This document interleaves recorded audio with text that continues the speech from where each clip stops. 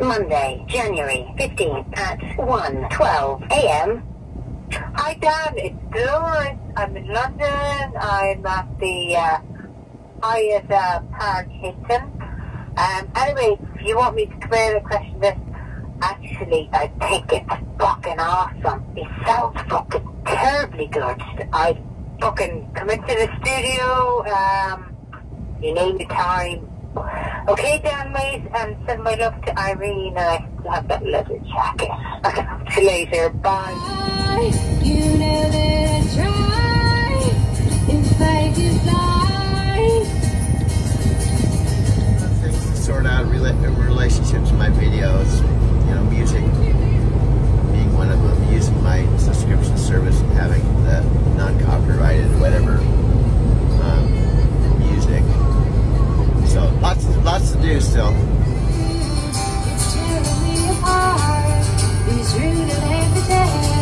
And. Not Dolores with the cranberries. It's sad to me. She was in her, only in her 40s. I think she was maybe 47 or something. But I believe what happened is um, maybe I'll even um, play the song. She was um, to do a new version of um, that song, that famous song.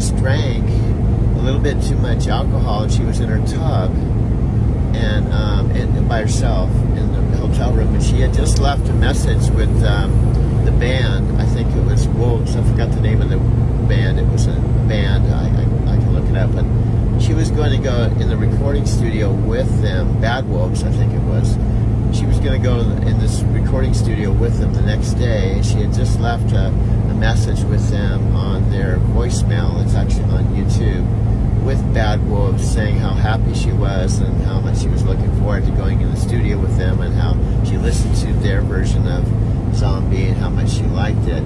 And I believe she just um, passed out and slipped underwater in the bathtub and drowned and someone found her dead in, in, in the hotel room. I don't think she did like a like um, Whitney Houston, where she had done cocaine and had an overdose of drugs or something like that. I believe she just was drinking a little bit too much. I think I, I might be wrong, but either way, it's just sad that she died, and uh, you know, she was so young. And I think from what I. I, I liked the Cranberries and I liked their music, but after she passed away, I started kind of doing more research on her and and I'm just kind of curious about her more. And I just it's it's it was sad for me. I'm bringing it up because it just it's still it's part of the mystery of life to me.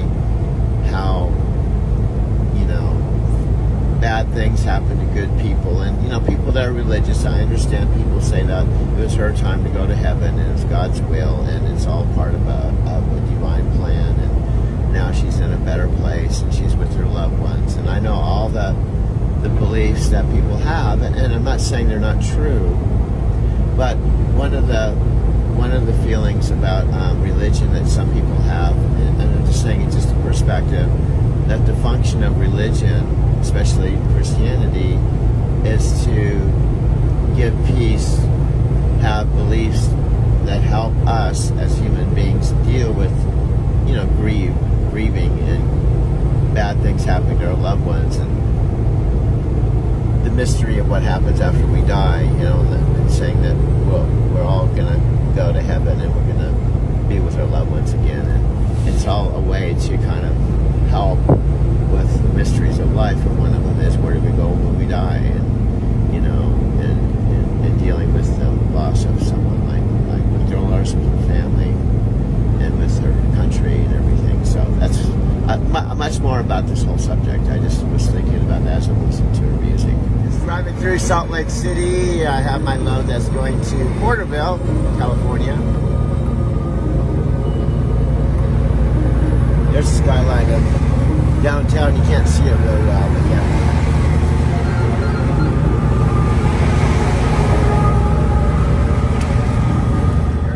Running without the air conditioning, without the truck running, these trucks get really hot. I should have done before. I actually parked the truck. Let's see my my my gauge. It's just above a quarter tank. Um, my fuel stop was in St. George, which is south of here, approximately oh, 200 plus miles.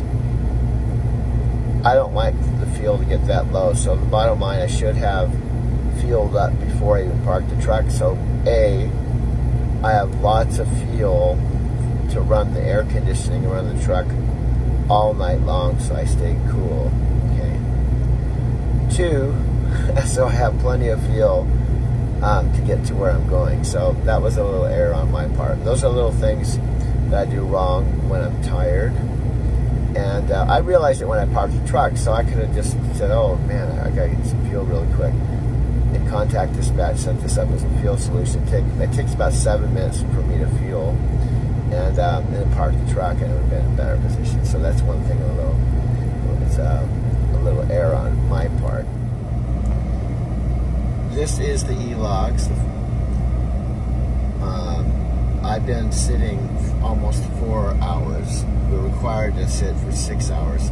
So technically, it's 2052 in military time, 8:52, almost nine o'clock on Saturday, uh, July 3rd. We're here in uh, the, at the Love's, and um, technically, if you look at this, I can drive six hours from now. So technically, I'll be eligible to drive somewhere around three o'clock in the morning, which I don't think I'm going to get up that early and dri- and drive. I'll probably get up and start around five or so.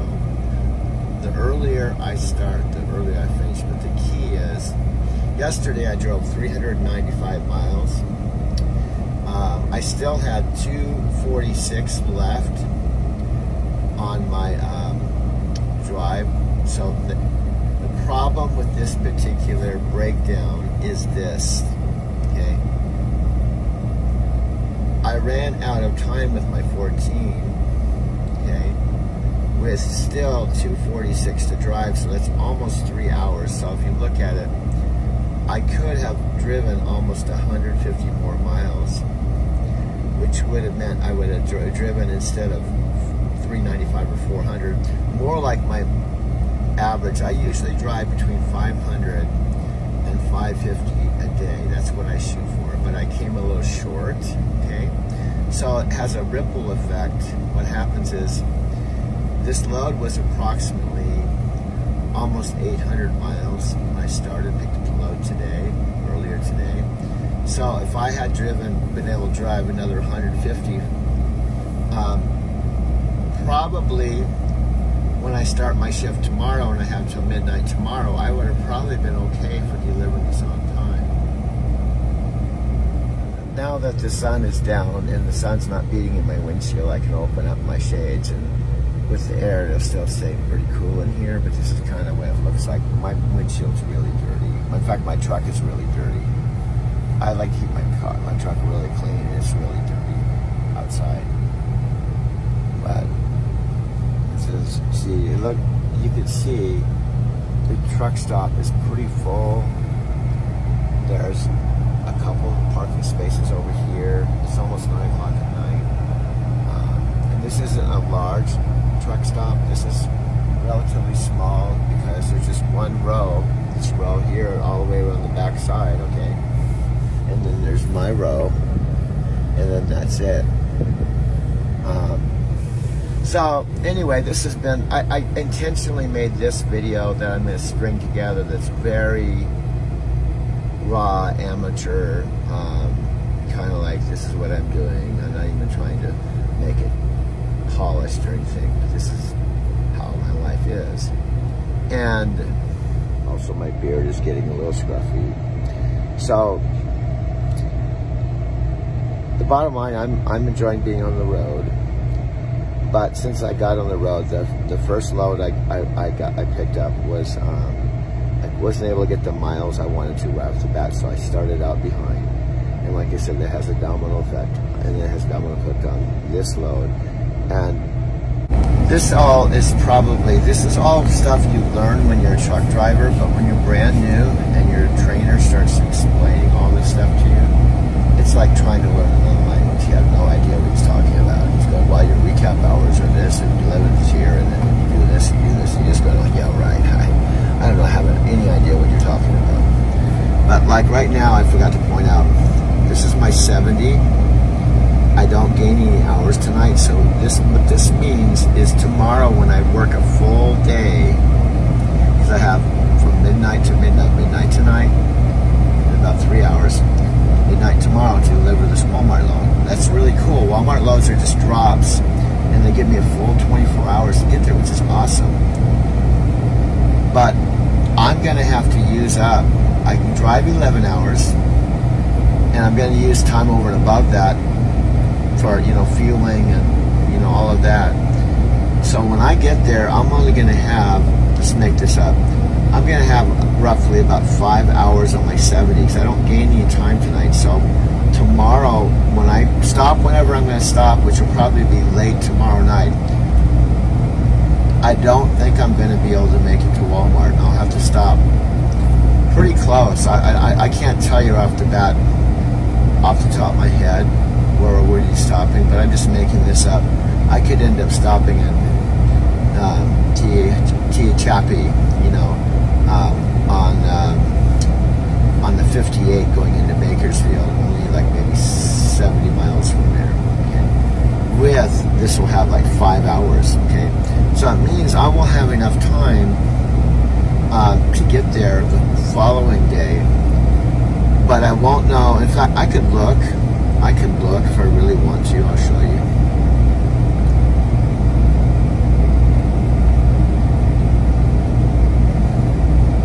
Okay.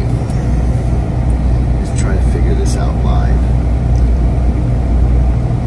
These are recap hours. Okay. This was my break. I think this is where we're showing that we don't gain any hours tonight. I think after midnight tonight, I think I'm going to gain tomorrow instead of zeros, it's going to show 626. So the point is, um, I'll have time. I'm not going to run out of time. So when I, with, let's say I stop 75 miles out and I take my 10 hour break, I'll, I think I'm going to have 626 on my uh, on my um, recap hours. And if I'm two hours out, I'll eat up that, but I have enough time to get there. But when I drive two hours, then I'm going to have 426. And the following night I have 830. The following night I have 1053.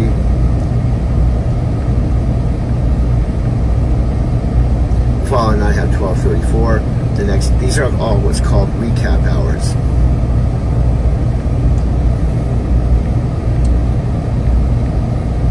Now, when I started driving, we didn't have these instruments. We just had paper logs. And we just had to kind of keep track of things in our head. This is all very tech, like land pilot stuff, you know. So we have this instrument that does all our, it does all our tracking for us. We have to do all the thinking within the tracking. Okay. See, there's no hours gained. What I was getting at tomorrow after midnight, this should be like 634 on recap hours. And then what happens is when this goes down to zero, then I'm running on recap hours. It means whatever this number is, that's all I have to drive that following day. It's called recap hours. And then one of two things has to happen. Either I run on the recap hours or I do what's called a 34 hour reset, sit for 34 hours, and then this 70 goes up to 70 again. It refreshes. Or I go home. So that was just another quick note.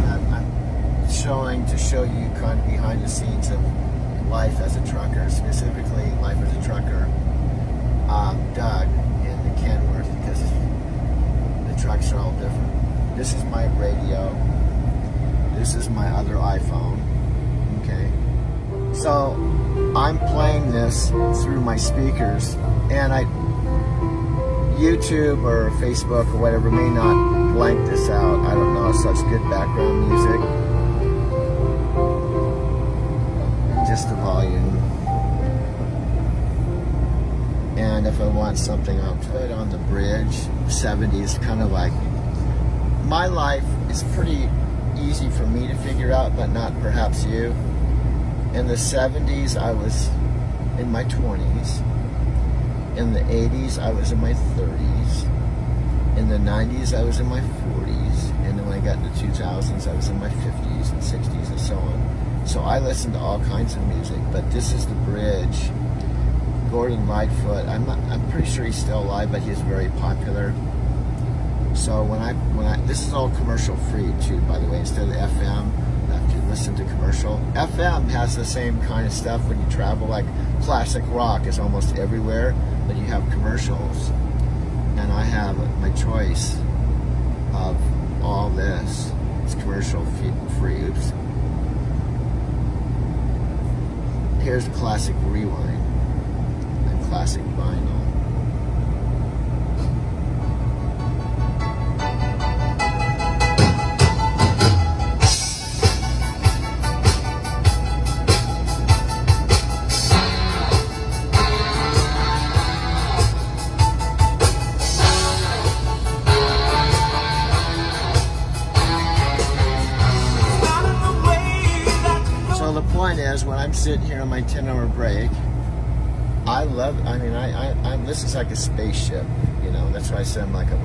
Astronaut. I can sit here like if I was a, an astronaut swirling in space above Earth, and I'm sitting in my space capsule, and we have our like high-tech stuff that we have in this age.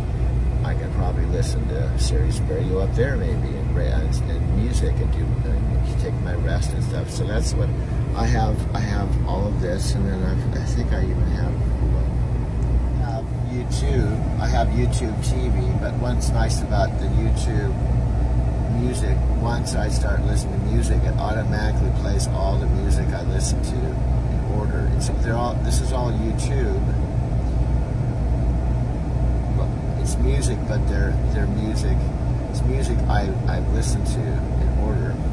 Like this, I, I like this for driving.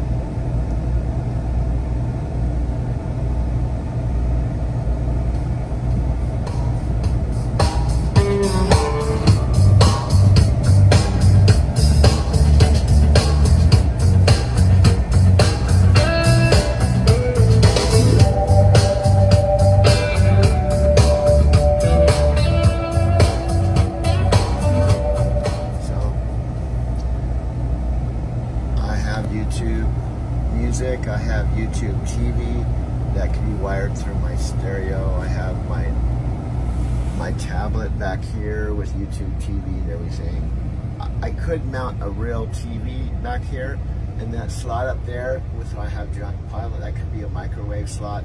I'm, I've gotten to the point I'm probably gonna equip my truck like it's set up with a microwave, a regular sized TV, DVD player inside the TV. I have my fridge. I can have my microwave. And basically, this can be just like a little mini apartment. Now, I don't have a shower like Michelle in my cabin. I don't have a toilet, which they probably have too.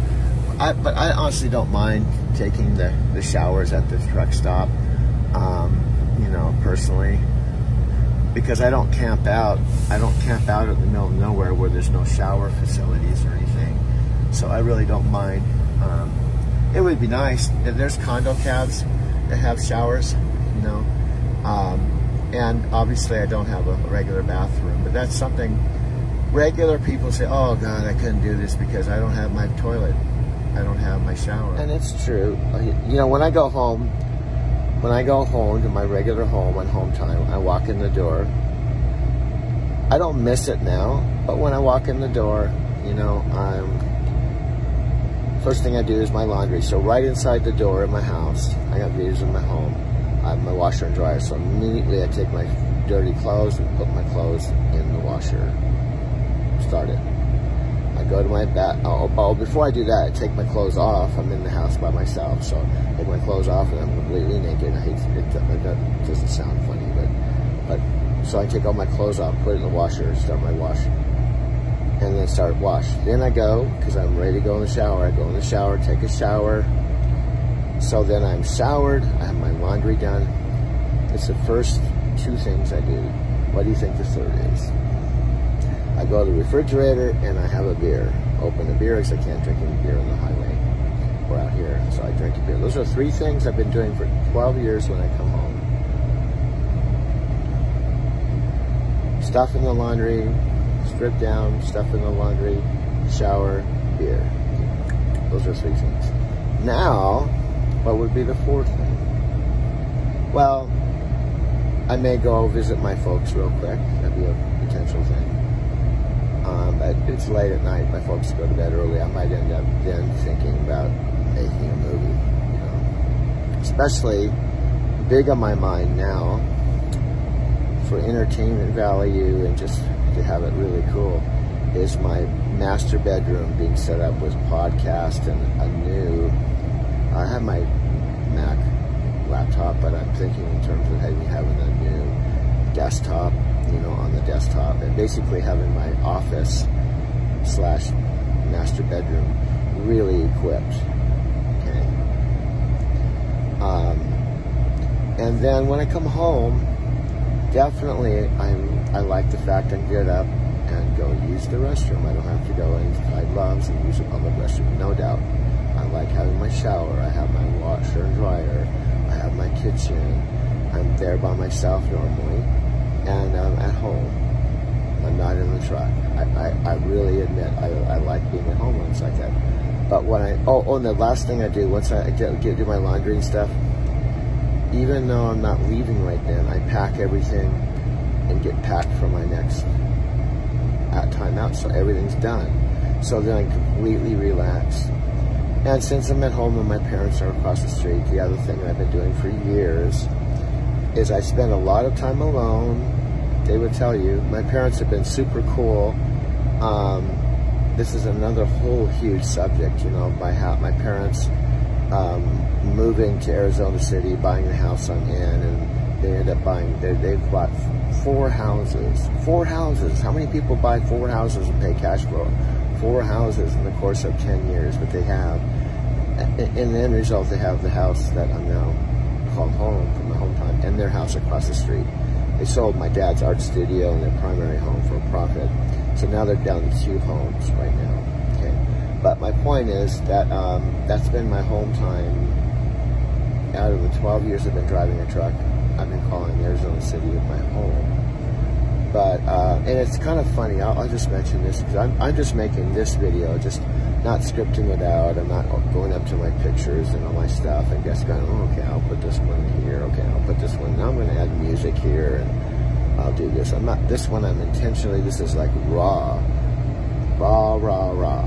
Not raw, raw, raw. Okay, go, go, go, go, raw, raw, raw. No, no, I mean raw, like R, R, A, W. Okay, this is like, you know, behind the scenes.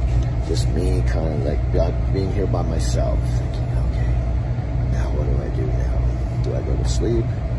Do I make a movie? You know, I, I'm thirsty. I'm gonna go back into the truck stop and get some more, get a couple Gatorades for the night, and I'll go back and make my movie. You know, that kind of thing. Okay. But um, I like my, I love my life. I've said this, and it's good. It's getting to be sound like a broken, broken record, so I'm, I'm going to stop saying this because it sounds like I'm all hung up on this. But I say it more that I understand where I'm at, okay, in the grand scheme of things. I get that um, I'm almost 68. The clock is ticking. It's like, oh my God, how do I get here? I'm in, oh my God, I'm not like 60, I'm almost 60, I'm almost 70. What in the world happened? I guess I gotta start getting serious about this because the clock is ticking and the end is near and I, I don't know how much longer I'm gonna be here. And where am I? What am I doing? What's important? You know, all that. I, I've thought about that stuff, you know, all through my 20s. And it wasn't, it wasn't, I wasn't thinking about that. My 20s, my 30s, my 40s, my 50s, my 60s. But once, once you hit like trust me, my friend Mike, he's 36, he's like approaching 40. I remember exactly what that felt like. I was 37 when I moved to Colorado for the first time, approaching 40. I didn't feel old, but I was aware that, oh man, I'm getting close to 40. But I was young, I looked completely different. Um, um, I think, I don't know, sometimes, sometimes here's the other thing when you get older, you ask yourself, I'd love to get me, like right now, to meet my 37 year old version of myself, like be in the same room together. Like, hey, Doug, how's it going? Well, come on over here. Let's have a chit chat. Hmm, okay, yeah, you look a lot different. Yeah, you do look younger. Tell me about yourself. You know, and you have a conversation with yourself, you know. But you're, you're. I'm having a conversation with my, my 68 year old, 67, soon to be 68, and just a couple month, month version. And like, almost having a conversation. I know this is sounds maybe really weird to, to some people. Like this guy is really, ooh, ooh, ooh. he's kind of out there, ooh, you know. But this is how I am, you know. I, I I'm a deep thinker, you know. I, I just don't go through like, okay. Oh, now it's just time to go to bed. It's time to sit and watch TV and go to bed. And uh, oh, I got to go to work now. Okay, now it's time to watch TV. It's time TV time, weekend time. You know, I've never been kind of that eight to five superficial type of person, you know, typically. Um, but anyway, it's one of the things, crazy things I think about is that's when I, I like these flashback movies that I've been playing. By the way, I don't think on those movies I, I, I was always behind the camera. I didn't have any of my Mexican coworker guys say, "Take a take a video of me now," you know, show them. I guess I could have turned the camera around, but sad I don't really have any of me. I, actually, I have some pictures, but not that much. But anyway, that's one of the things I'd love to do. I think about today because I fantasize about about, and I don't know for sure. It'd be like it would be almost like me. You know, I'm 68, and my 37 year old uh, would be young enough that he could be my son. You know, because usually there's about a 20 year difference or something like that. So I could actually have a conversation with my 37 year old, like kind of like he's almost like my son. He's like a duplicate copy, a clone of me, except he's 37. You know, dude, what's going on with you? Well, I'm just, what's happening? Uh, I'm in. I'm, I'm going to Denver. Going to Colorado actually with my massage table. I got about $250 and my Cadillac, and uh, I'm just gonna go for broke. You know, I've just gone through my divorce and I've never left Southern California for any length of time other than the, the 10 months I was in Albuquerque going to New Mexico School of Natural Therapeutics. Yes, I went to Europe for six weeks. I ran out of money in Morocco. Yeah, you remember that part. Um, and, and, and I hitchhiked all over the United States, no money. I've done a lot of traveling stuff, but um, I've never really just left, you know went out into the great unknown. So I'm going to Denver. Actually, I'm going to Colorado Springs technically, but ultimately I'm going to be in Denver. That's what's happening. Really? Oh wow. So you don't even, do you have any idea what you're going to do? Like a parent would ask, like, do you have any idea what you would do once you get to Colorado Springs? Well, I have a friend. I have a friend named Brian. I went to, we went to New Mexico of Natural Therapeutics together he's in Colorado Springs now. I've never been to Colorado Springs, but he said he can line me up with a job with MCI Telecommunications as a telemarketer. So I have a job all lined up. He's a supervisor. So when I get there, I'm going to stay with him. And then I'm going to start out with his, that job. I know it's not massage therapy, but I have to have some income. I'm going to live with him just to get started. Then after I live with him just for a couple months and have that job, I'm to get my car. I'm to go up to Denver where I don't know anyone I'm to transfer to US West Telecommunications because I've got some experience. And I'll go up there and do telemarketing. But then I'm to just have that as an income. And then I'm to, that's when I'm to start getting serious about my massage business. You know, I've been doing that now eight years. Okay, that sounds okay. Yeah, so I would, I would like have a um, conversation with myself like that. And actually with you, I'm just actually not just having a conversation, I'm telling you what really happened. You know what I mean? So I could I could do a split screen thing right now about my whole life because I know what happened to me, right? So I could go, you know, well, what happened to you after U.S. West Telecommunications? Wow, that's where it started getting interesting. Really, what happened? Well, you know, I was into I was into um, you know visualization and affirmations and all this personal development stuff. You know, future you know of, uh, memory memory stuff, vision board, all this stuff. I decided to um, uh, really start networking. You know, and also oh, I forgot to mention Dad or Doug or Sir.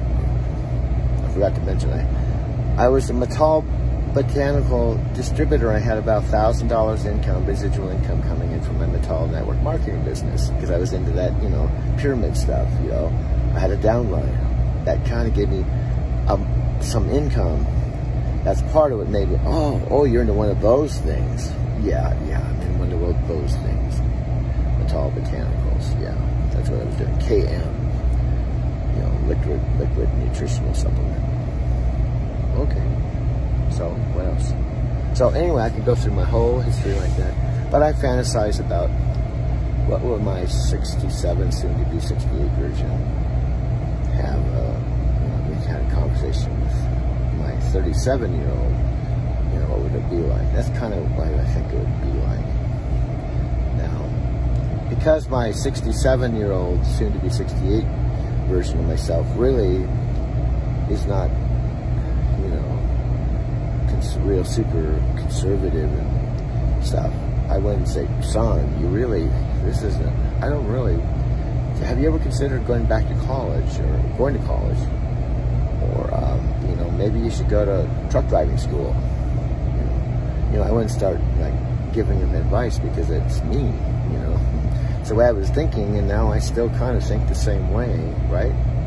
Just older, you know, older model which is kind of weird.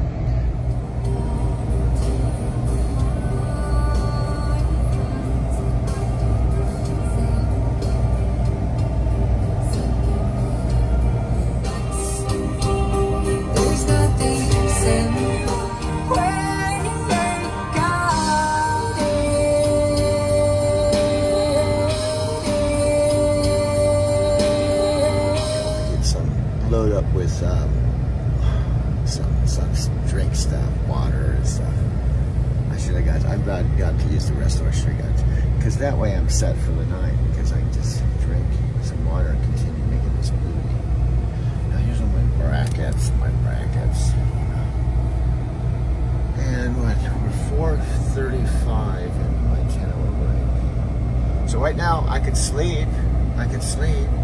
I could fool around with my iPhone. Could watch YouTube TV, Sirius Radio, YouTube, make a movie. Or I can have a conversation with one of my versions of myself again. But first, I'm gonna get something to drink.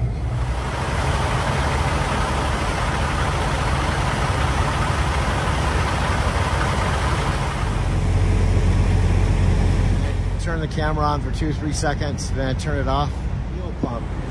Different than, kind of different than the car. But this is one of the things you learn to do when you drive when you drive a truck, is you learn how to fuel. Because we use a fuel card, and we have to put all these different codes in to confirm that we're the one. Because we're putting in like sometimes three or four or five hundred dollars worth of fuel. We use most truck stops have a certified CAT scale. That's another thing you have to learn is fueling and scaling. Where we collide with the civilian population. the truckers collide with the regular people getting regular gas and the regular people getting food and stuff and the truckers all merging into one place. Mike and Michelle probably have merged with the regulars and the truckers into stuff. Had several Bluetooth headsets, professional truck driving Bluetooth headsets, or, or inverter kind of stuff. That's a pretty good assortment of stuff when you run out of stuff or you need something for your phone or whatever. They have a pretty good assortment at Lowe's, most of them, and some water for my fridge. Much better prices. But I'm here at Love's. I'm thirsty, so I gotta bite the bullet and get two Gatorades for five dollars. People, trucker people, and me. I don't know if I'm a regular person or a trucker. So we're gonna go back to the truck in this amateurish video, and Mike and Michelle. I don't know. They, they said that they're watching my videos, but Mike hasn't been posting very much lately. Right now, today, is um, I think it's July 3rd. I'm I'm winding down the first month with Mike. I'm just made the transition from dedicated to over the road. We're kind of right in the summer now. So there's a lot of transitions happening all at the same time. I've always done this. Um, Mike actually just made a whole video on his post. Get back in the truck when there's not any background noise and there's people walking around. But I just wanted to you a real live view outside my truck. Now I'm back at my truck, and I guess we'll probably hear for the duration, I think, unless I have to use the restroom. Instruments at night, the way everything's lit up. And, um,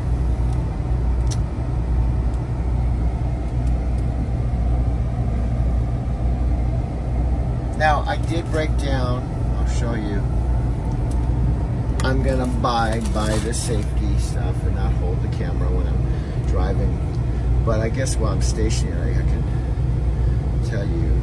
I have this bracket here where I put the my regular iPhone here, but I see this iPhone has this thing here, right? Or I can put it up here, see? And while I'm driving this way, this is my iPhone at night, mounted on the dash mount where you can see the view. It's hands-free. I'm holding my other iPhone just to show you. So I'm getting a magnet for this phone so I can do the same thing, which I use this most of the time because of increased 500 gigabyte memory. I use this as kind of a backup, but I try to keep it clear so I can still use this a lot. So I actually technically have two iPhones. But what I was trying to show you, I have these brackets, including this bracket. This bag, it's empty. The one of the co-founders of the guys at the minimalist thing, um, he has a whole YouTube. Um, he has YouTube video on how he, he what he has in the back, this bag, this same exact bag, except he unpacks it and he breaks it down. I like this.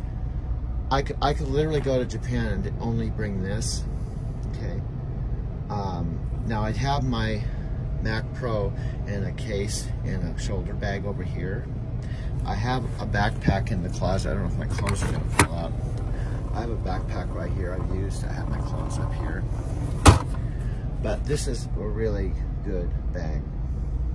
But it's also expensive. I think I paid, I don't know, $200 for this or something. Back in the sleeper, better lighting, nighttime. I have my Gatorade.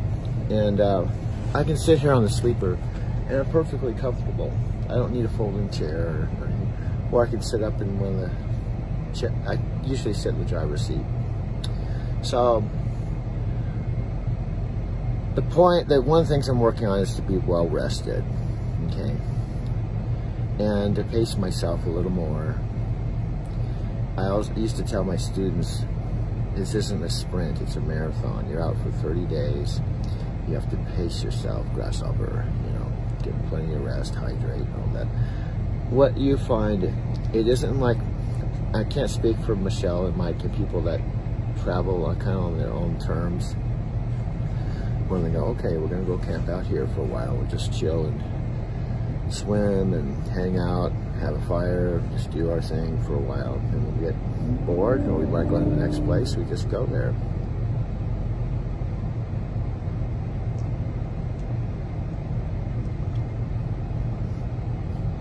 This isn't like this.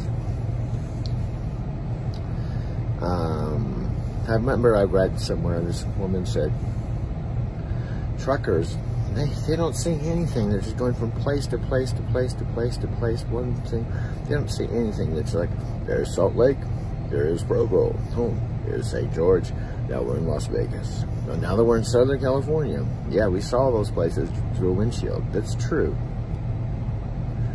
But, you know, it's everything has, everything has, you know, points of view. Like her thing was the way that she goes is multi-million dollar motorhome. You know, our car. We have, you know, a full-on kitchen, shower, queen-size bed, you know, a living room. You know, it's like a home. Of course, it costs a million dollars, but it's cool. They, of course, you have to pay for all the fuel. You have to pay for all the parking, maintenance, all this stuff, and then plus you paid a million dollars for it.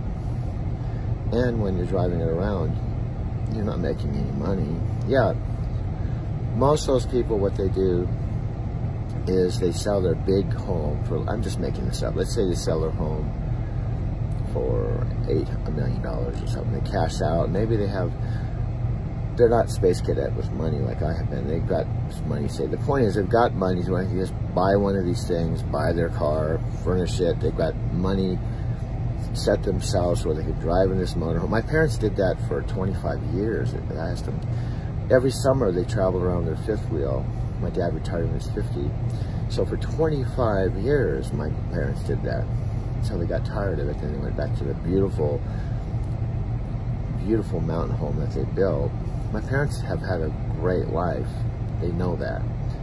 Um, my dad said, how many, my dad mom had told me, and it's true, how many couples have been married since almost high school and lived? How many people have retired and been retired for 35, 35 going on 40 years and without working? You know, it's like Michelle and Mike have said that they're traveling around in their van for a couple of years. Well, imagine doing that for like, you know, being retired and on your own terms and not working for 35 years. That's a whole nother game, you know, three and a half decades and live to talk about it. You know, of course, my dad's now 88.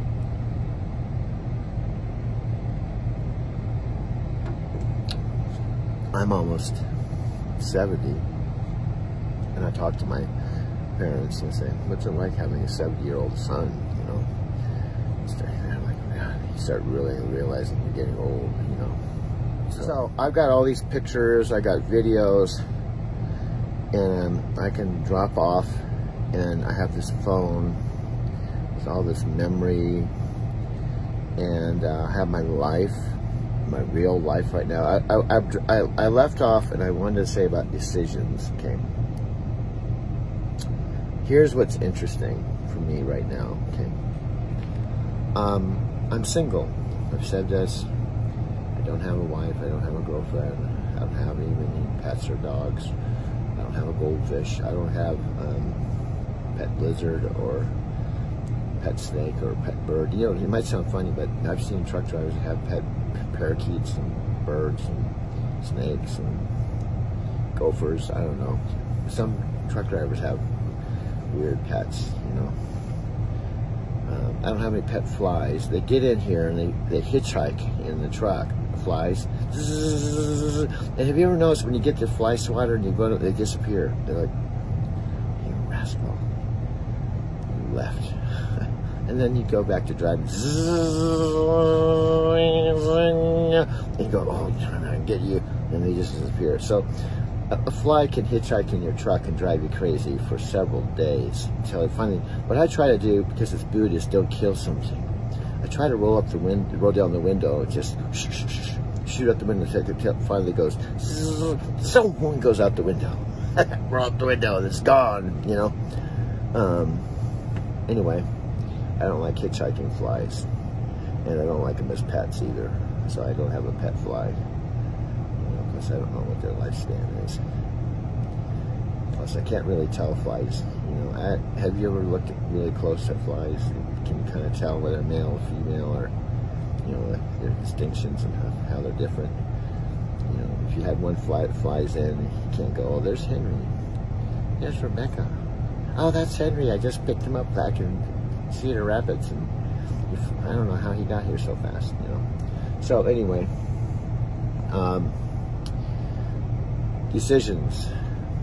What I'm what I'm leading up to. The thing about collaboration and teamwork, and this is I could talk. This could be network marketing. This could be business. I'm in a collaborative deal with Knight in a way where I'm uh, an employee but I'm like an independent contractor. We have a collaborative arrangement. Okay, I have that kind of with Mike, but it's a 90 day, you know.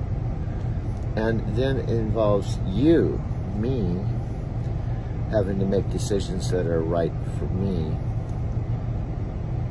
That's the best thing for me to do given current reality. And that's kind of what I could I could talk a long time about this. Um, the whole idea of review and adjust and current reality and making decisions. You know, you make the decision with the best awareness you have at that given time. One of the things Jack to always tell us is you make the decisions with the best, with the awareness you have at that given time.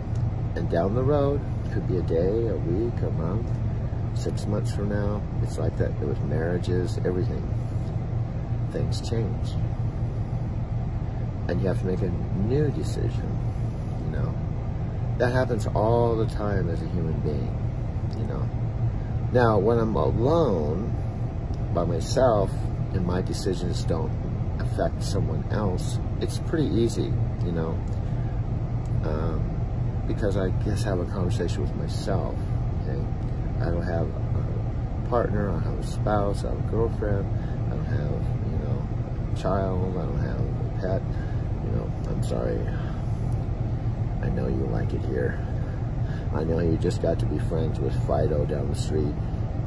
You know, you like the backyard, but we're gonna have to move. I'm really sorry, guy. You know, that kind of thing with your pet. You know, so you don't have to have one of those conversations.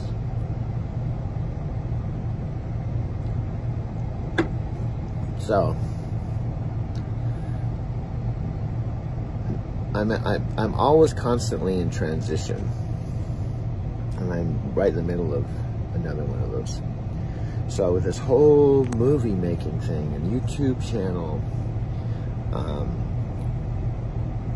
I, I just this was this is a whole thing that just kind of dropped in my lap while driving a truck. Just I tried to figure out when this all started, you know. I think about two months ago. And one of the what sometimes here's what happens also. Mike Mike likes to get physio what, what do you call it? Physiologically, you know, talk about philosophy and life. Okay, this happens in life, you know. I'm now a grown up. I'm not living with my folks anymore, and I'm on my own, you know. So that that's you know I'm kind of into that stuff too, you know. Um, so it's kind of weird. Remember, I was telling you if I had a split screen with my son, you know, I'm almost 68. My son's like 36, going to 37. Well, Mike is old enough to be that split screen son, you know, with his bushy beard. It's, it's not gray, it's dark. You know, hey son, what's going on? Wow, I'm, oh no. So, so there's lots of, when you make decisions, um, I, I'm just talking for myself. Okay? Um, you have to kind of look at the big picture, and and what I find it's important not to be reactive, be respond. There's a difference between reacting and responding. Reactive, react, reactive is just like it sounds, a knee-jerk reaction, and you make quick decisions. And, and, and the decisions you're making, if you talk to yourself really quickly and think about it, those knee-jerk uh, decisions and might be totally right on, you know. But sometimes you may come in, it affects another person, and it takes your your life in a whole different tangent. And at first, it seems like it was a good decision, and then three months from now, six months from now, you go, oh, I didn't think about that, you know. You know, I made the decision because of X, Y, Z, because of money, or because of this, or because of that. And then six months later, you go, maybe that wasn't the right thing. Maybe I should have just rode this out a little longer, or been a little more patient, or, you know, had a conversation, or, you know, there's a number of things. So, that's kind of, for me, the backdrop with my trucking life. Okay. The driving to Tokyo channel. Well, first of all, to be honest with you, I'm sitting here. I've mentioned this in one of the earlier videos when I started doing this. I'm sitting here. This is just exactly what I said before. I'm sitting here in my sleeper by myself with this camera. Mike, Mike and Michelle are not here. My mom and dad aren't here. There's not a, a, subscriber that's just, oh, what's this guy? Who's he? What's he talking about? There's not anybody but me, okay? Sitting in my truck. Which again, it's weird on a certain level because I could be sleeping and therefore I should probably be sleeping and not making this movie right now. And, and there's another part of me that thinks, that's right, you could actually do both, Doug. See everything about this? You could actually turn this camera off, it's nine o'clock, get a full night's rest, and make this movie tomorrow. Get your rest. But then there's another split screen part of me that says, yeah, that's true, but you know what happens? That's true, Doug. Doug one, but here's Doug two, you know. That's true. But you know what, you know, you're kidding yourself.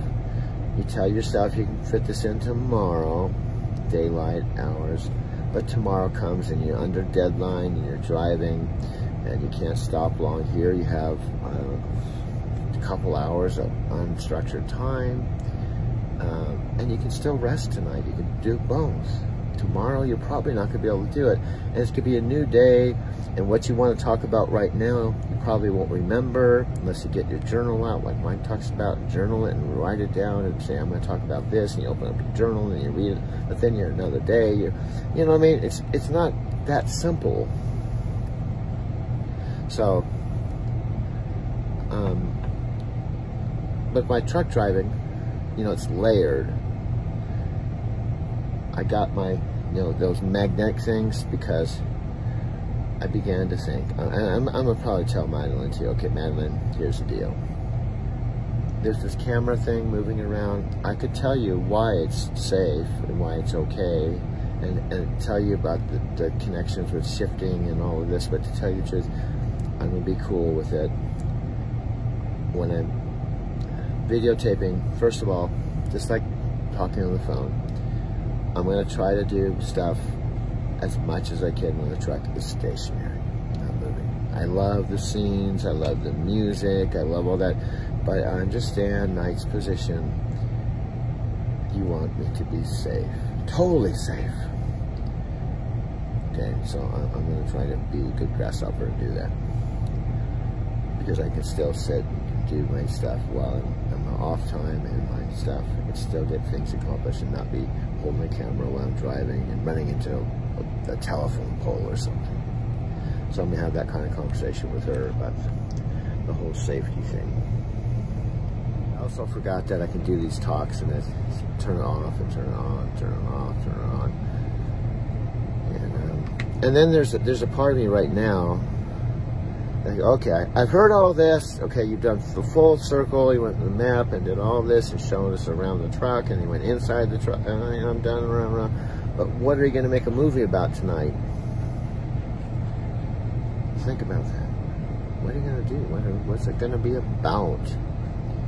Um, to tell truth, I don't even know right now.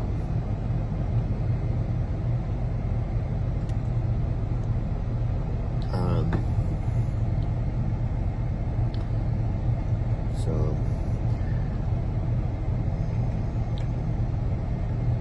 I don't know what I don't know. There's a part of me. There's a part of me that thinks I just kind of overcomplicated myself. Why am I spending all this money and time on a channel that I may not have any subscribers or views, you know? and I have these grand expectations of driving to Tokyo, this high performance team, and having an office in Tokyo, and you know having so many trucks that we just can't, we don't know what to do with, you know. And then there's a part of me that's like, oh, forget all that. You're just complicating your life. Just keep it simple. You know, why why do you do this to yourself? You know. And I think part of the problem, to be honest with you, is I got off track when COVID happened and I couldn't go to Japan because to tell you the truth, it was my life was working without adding YouTube channel or anything. Of just driving and then going to Japan for a month, driving and going to Japan for a month. It was a nice flow rhythm. Drive Japan, drive Japan, drive. It kept me occupied. Gave me a variety. Every three or four months I was in Japan. Three or four months I was back here driving. It was a perfect flow. And I think that got disrupted. So it set me down this other path, you know, you know. And now I'm there, and I'm kind of no man's land. Because now I, I just did some research. I don't know when I'm going to be able to go back to Japan. This fall and winter is going to be two years that I haven't gone. Two years I went five times. Now I'm going to have two years I didn't go. And, and, and the, like, it's feels like the train's left leaving the station. I'm not on it. And I'm losing all this time and momentum. and I'm getting older. And, um, you know, by the time I can go again, am I going to still be driving a truck? Am I going to be, what kind of financial situation am I going to be in? You know, all this un, all this stuff is happening all at once. And it's just like, and there's a part of me thinking, maybe I may, may never go back. I never went back to Brazil. I never went back to Europe. You know, who knows? You know, my friends in Japan, I, I'm keeping in contact with them but I know they have their life, you know, their real life in Japan. And uh, I know all of them would be love to see me, but when I come to see them, they know and I know I'm just here for a few days and I'm gone, and then boom, you know, you go back to your regular life. I go back to my truck driving, and um, you know, I'm not living there. Now, the last thing, I've even thought about really being frugal with my money. Like the money I'm even investing in this project right now, and, and anything else, I just keep putting money. You know, I've saved thirty-five thousand or thirty-eight thousand, whatever it was last year, thirty-seven thousand. You know, I um, I think, yeah, maybe I should entertain the possibility. I, I'm anxious for the whole COVID because it hasn't completely clear, cleared up there yet and uh, I still would probably maybe even have to go in quarantine, and all this complication stuff there, and I can only stay there for a, a month or less with Knight. So it's kind of complicated, but the point is I've thought about potentially even saving enough money where I don't care about this new truck, and I don't even care about my million miles, and I don't even care about my paid vacation. I just leave Knight on good terms and take off and go to Japan for a full three months really take photos and videos and immerse myself as much as I can. Technically, at least before COVID, I could go to Japan twice for three months. So in other words, I could, without any special visas or anything, I could actually go in Japan, be there six months out of the year if I could afford it. So that's another whole angle is could I work six months you know, and be able to afford to pay for th two, three month trips to Japan. You know, is that possible? You know, that I would actually enjoy. But, you know, I I would lose my three weeks paid vacation. I'd have to come back and go through two days of orientation. I'd have to go through the quick new hire process, but it'd be really fast. They put me in a truck. And some guys do that. They take they take out. They go to the Philippines. They go to Thailand for like six, seven months, and they do this pretty routinely. So that's definitely an option there. I'm looking at. So, but meantime, back to the original question: What is this long marathon intro thing you just did? Now, what are you going to make a movie about? Maybe this could be the movie. So what I have to do is actually stop this and then load all this ding, ding, ding, and go, oh no, all this was added up to 54 minutes. I guess you don't have time to do anything else, do you, Doug? So let's see what happens.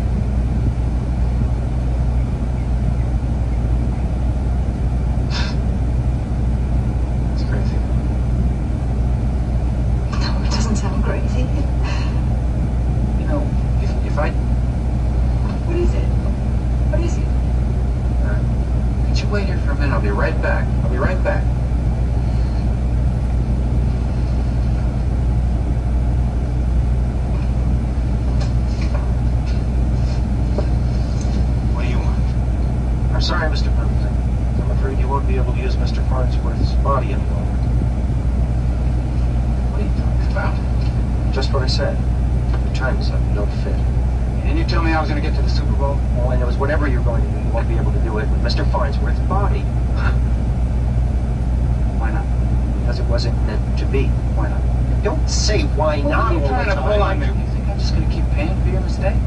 Look, Mr. Pendleton, you have wait, wait, wait, I don't want to talk to you. You tell Mr. Jordan I'd like to talk to him. We'll just settle this whole thing once and for all. Now get out of here. You're bad news.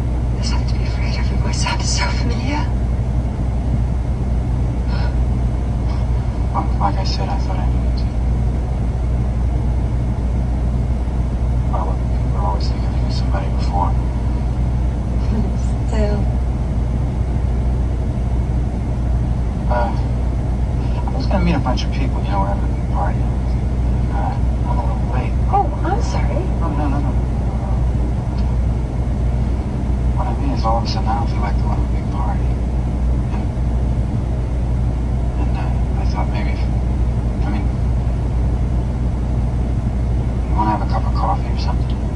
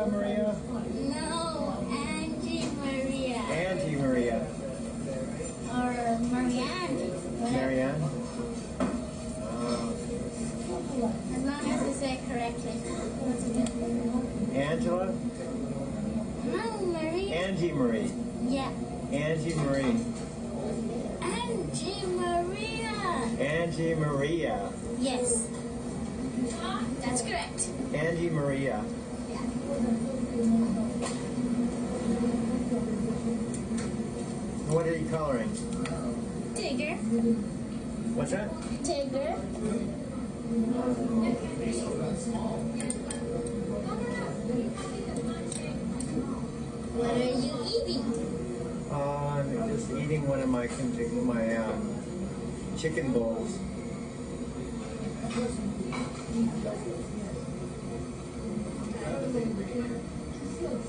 This is upside down for you. See, this is my bowl before I eat it.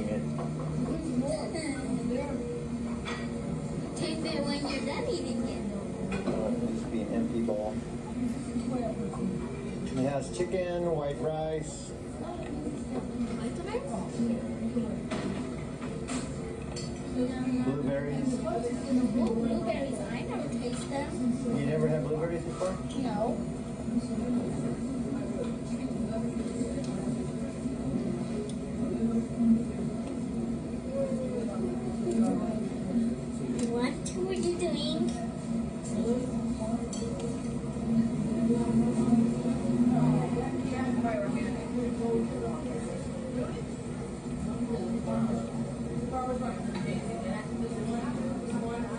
This is Chikako. I met her in the taxi cab in Denver, Colorado.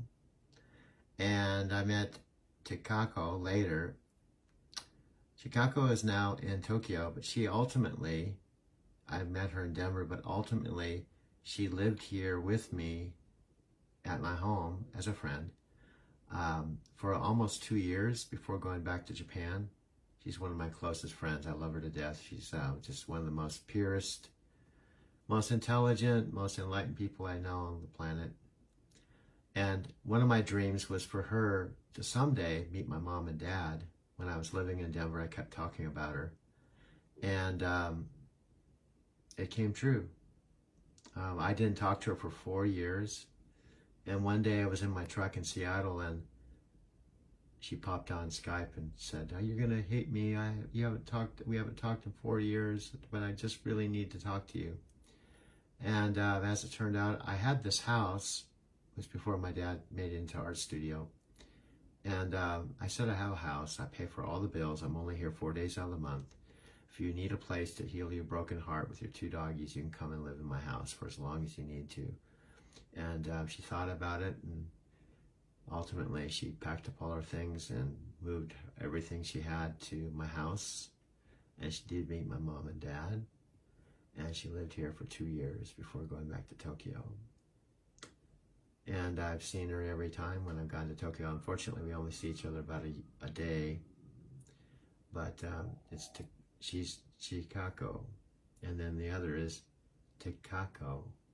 So I met Takako and Chikako in Denver. And there are two of the first reasons why I went to Japan initially. And um, now I've got lots and lots of friends there, but uh, Chikako's wonderful. So is Takako.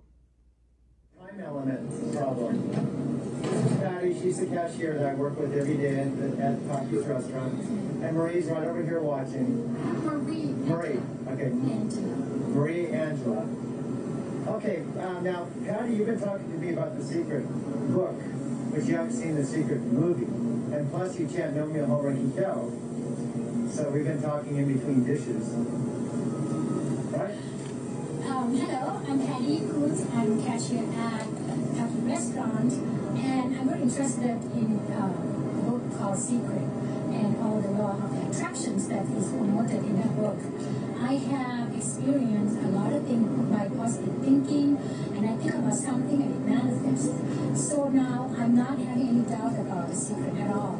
Uh, even though things doesn't look good, if I put my secret, it will manifest. So it put me to the level of the mystical world that you can create anything by your thoughts. Uh, plus, I do chant um, Nam-myoho Renge This is the Buddhist practice. And Nam-myoho Renge also believe in the same concept, the same philosophy. That means if you chant long enough, hard enough, you want something to happen in your life, a lot, I mean, you know, um, you already commit to that cause, it will happen. So the secret Renge Kyo work in the same path. And um, I really think that this is a good thing that a lot of people learn how to live in the thoughts and in happiness in their life.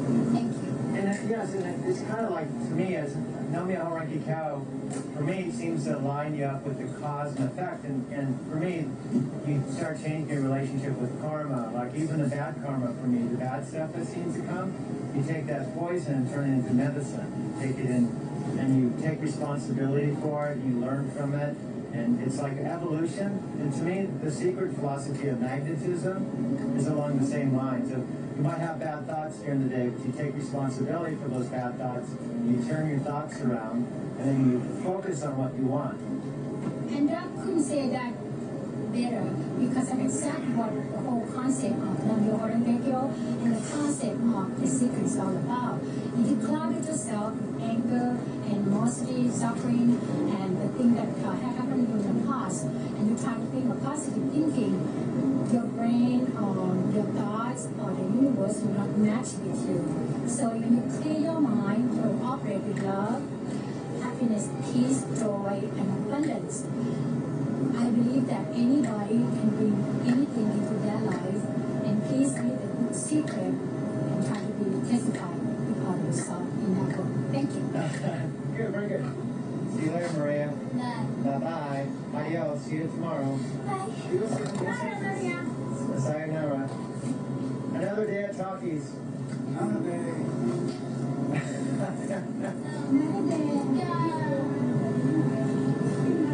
A movie maker. A movie maker, yes. You could, you could like take the whole world. Not the whole Well. I'm a movie maker. Do You know, this misconception that you have to make money to be something. Uh-huh. I'm making making a movie now, so I am a movie, right? Yeah.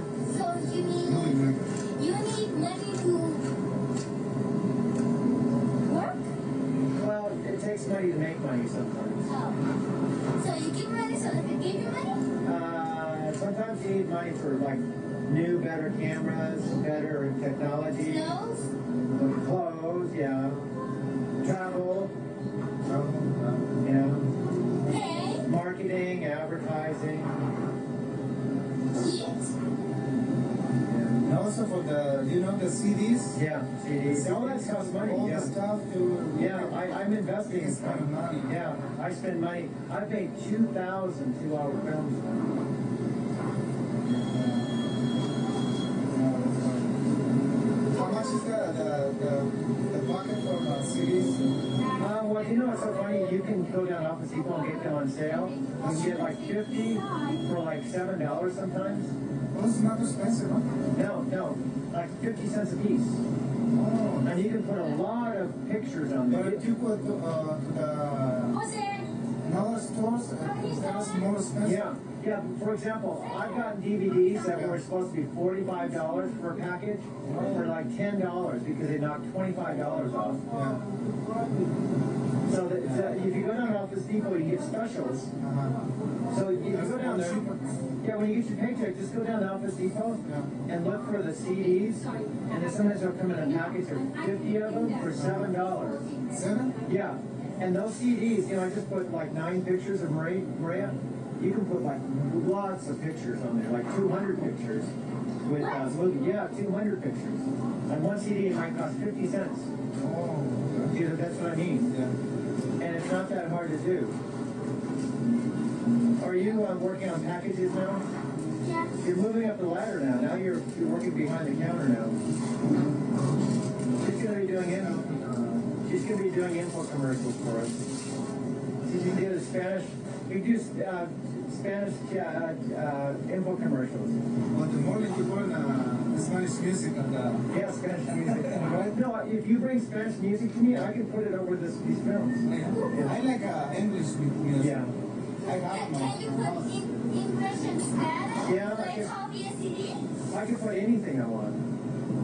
Anything. I, I like one song like uh, they. Tomorrow I'm gonna bring a CD. Okay. Can you make it? Yeah, I can do anything.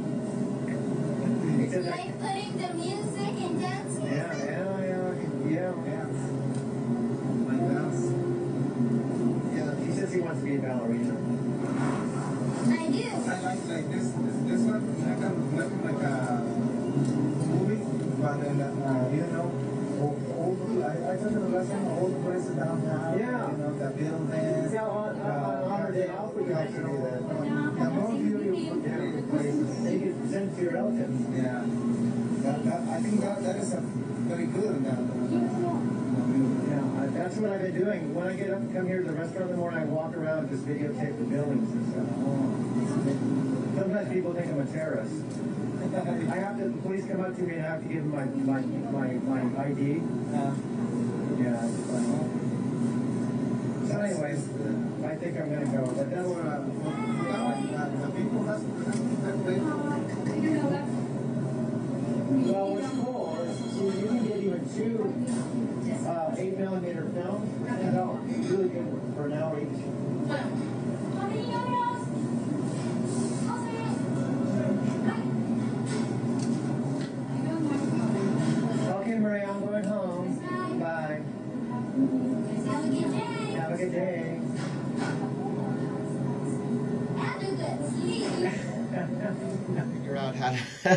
Convert these stack of DVDs, burn them onto my one terabyte hard drive on my brand new Mac Pro, which I will figure out, or worst case scenario, I'll put them on desk and or I'll just have a service do it if I can't figure it out. But I don't want to wait till all that is happening. I just actually wanted to show you what I'm doing kind of behind the scenes and why as it relates to my driving to Tokyo story. Now, you'll see this is the different chapters. Now, what this is and why this is significant for me and why I want to share it with you is prior to coming to Southern California and ultimately driving a truck, and I started my trucking career April of 2009. This was um, 2007, so only two years before that, I was washing dishes at a friend's restaurant, Taki's restaurant, for only $8 an hour. Prior to that, I was a massage therapist. You'll see my name going by there. I was a massage therapist and a taxi and limo driver. I drove a taxi back and forth and a limo back and forth to Denver International Airport for 10 years. And I was a massage therapist. I moved to Denver in 1990. I was ultimately there 18 years. So I have a really rich history. But I was not driving a truck. Okay. Oddly enough, the reason I want to show this to you is I was washing dishes at Taki's restaurant, which was a Japanese restaurant with authentic Japanese food.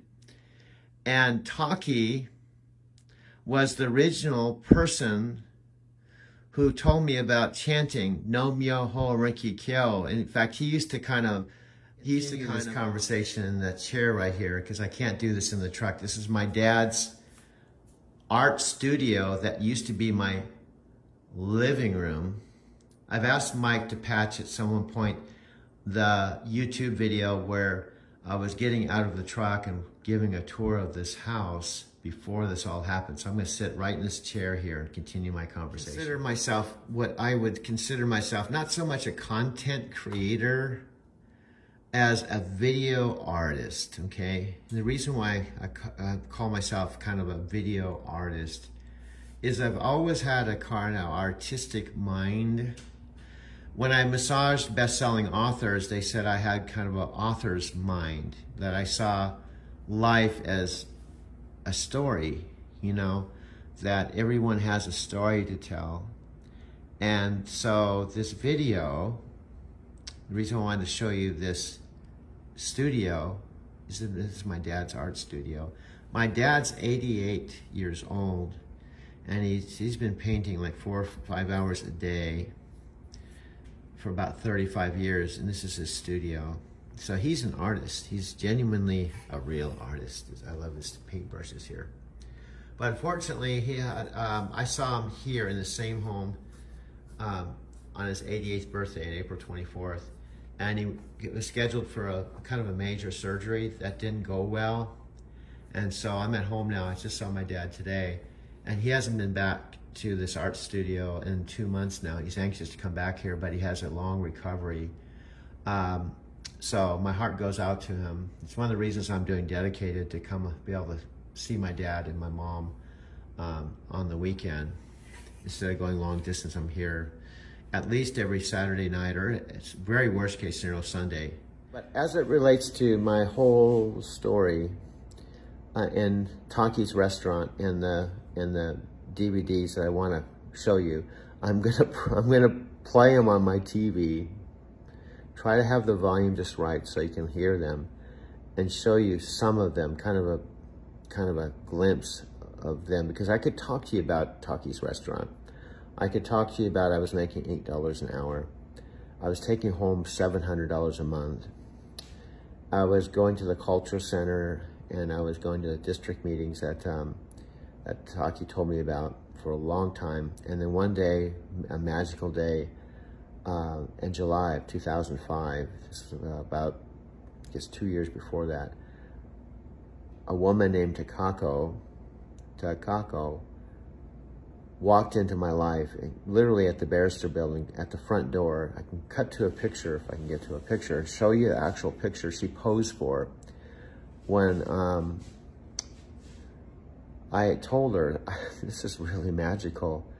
Maybe if someday this turns into something, can I take your picture of exactly what you look like walking through the door for the first time? Because something very magical may happen in the future. This was 2005. 2005 guess what? Something very magical happened. In October of 2017, 2017, I went to Japan for the very first time, and I did, in fact, get reunited with Takako in Japan after not seeing her for 12 years.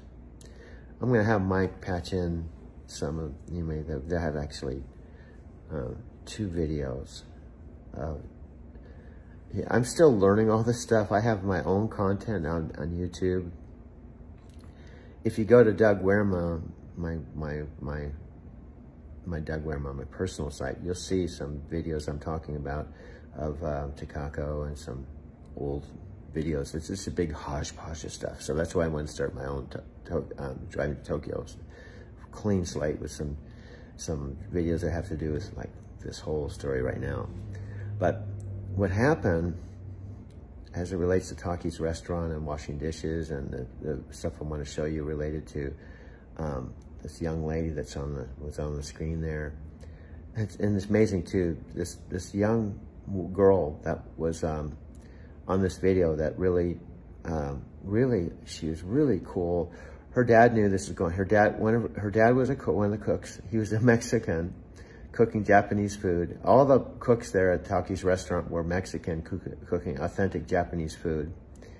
And um, I got to thinking that because this was um, 14 years ago, and I think she was born in 1999. She was actually born. She says there in the video, she was actually born um, I think two days or something like that before I came back from Brazil. I came back on April 20th, 1999 to the worst high school shooting in U.S. history in the Columbine shooting. And I end up picking up the executive producer of ABC News. That's another part of my backstory. But this young lady was born when that happened, okay? And I, I thought about today because this, that, this, this video, those videos were from 2007 they're 14 years old. She's probably like 23 years old, or something like that. I have no idea where she is. And part of the backstory, because Taki's restaurant exists no more, because after I left Taki's restaurant in um, January of 2009, a couple years after this video, these videos were taken, two years later, um, I left Denver, left everything behind, not knowing what I was going to do. Took a one-way train ticket back to Southern California with only $250 in my pocket to my name, for that matter. Leaving Taki's restaurant, leaving this young lady, oh, all the cooks, all my friends, all my memories, my massage table, everything. I left everything behind. Autographed books, from famous authors. I decided to, uh, excuse me, uh, close that chapter of my life. To step into the, the mystery, not knowing what was going to happen next. And ultimately, it was truck driving. So I became a truck driver in April of 2009, a few months later. But I just discovered these, these discs um, in my cabinet. And the reason I'm sharing them with you is that I completely, pretty much forgot about all that. I mean, you asked me where where I was and what I was doing, and I, I could probably tell you that I was, you know, there's a point I was washing dishes at Taki's restaurant. I was doing janitorial work for in the Barrister building.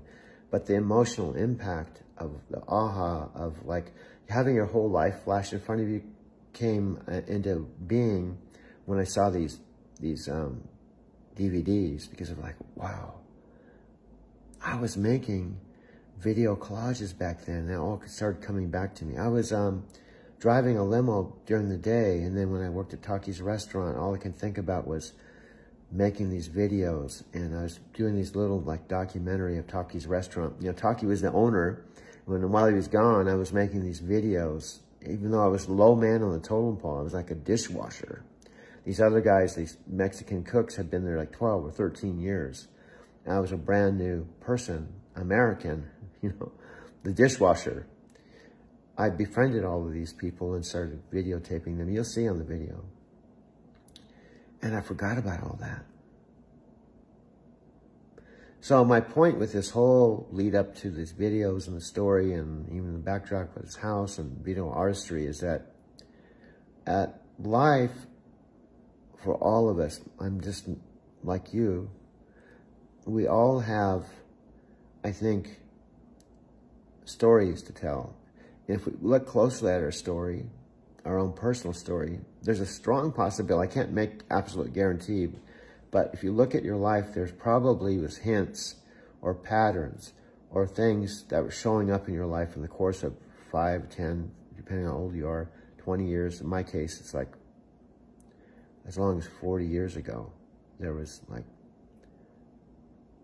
unique guidepost hints of what the future hold, held for me and what was going to, um, things that I would be passionate about.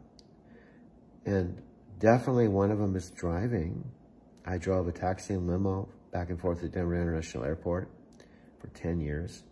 I've been driving a truck now for 12 years. So that's 22 years of my life, my adult life, has been about driving. But another part has been definitely travel. When I was 24, I sold everything I owned and uh, left a good paying job and went to Europe on a six week, six week train pass in the 70s after my girlfriend committed suicide. Ultimately ran out of money in Morocco. There's a story I could tell you related to that. It's just awesome. I will leave that for another time. How I made it back from Morocco to Encinitas, California in 10 days without any money. That was in my 20s. And fast forward another 20 years in my age 45, I fell in love with someone online, ended up going to Brazil, not once, but twice within three months. Fast forward another 20 years, I went to Japan. So there was a definite pattern and at the time, it just felt like I was just kind of putting one foot in front of the other, and I was just kind of just making it up as I went along and just doing the best I could with the unique circumstances that were happening. But now, when I can take a like a 35,000 foot view, you know, approaching almost 70, I'm 68, I've realized it's all been like part of a, like a, what do you call it, destiny, a divine plan, God's plan it's been really cool. So I can't be 23 again. I can't be 24 again. But what I can do is pay it forward, you know. Share this with the hope that maybe somebody that is 24, 25 watches, comes, somehow finds driving to Tokyo and they start watching the videos and they realize, wow, this trucking thing might be a cool thing to do with travel, you know. So I'm to stop right here and go do some mixing.